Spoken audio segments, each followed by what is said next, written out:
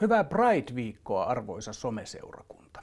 Sateenkaariliput liehuvat sen merkiksi, että meitä on täällä monenlaisia ja että se on hienoa. Voimme ylpeästi juhlia elämää ja rakkautta kaikissa sateenkaaren väreissä.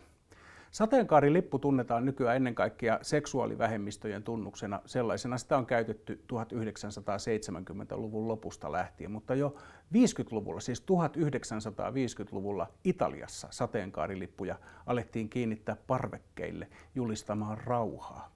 Näitä rauhanlippuja näkee Italiassa edelleen. Usein niissä myös lukee pace, eli rauha. Rauhan symbolina sateenkaari on vielä paljon vanhempi, se on suorastaan muinainen, se tulee nimittäin raamatusta.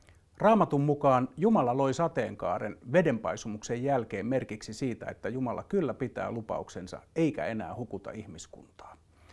Monissa viimeistä tuomiota esittävissä maalauksissa ylimäinen tuomari, eli tämä samainen Jumala, kuvataan istumassa sateenkaarella. Sateenkaari on siis armon istuin. Rauhanlippujen sateenkaaret ja Pride-tapahtumien sateenkaariliput eivät ole kulttuurista omimista. Raamatun lukijat voivat olla kaikessa rauhassa, sananmukaisesti. Raamatun sateenkaari, rauhanliikkeen sateenkaari ja Pride-sateenkaari taittavat samaa valoa. Se on ihmistä rakastavan Jumalan valo.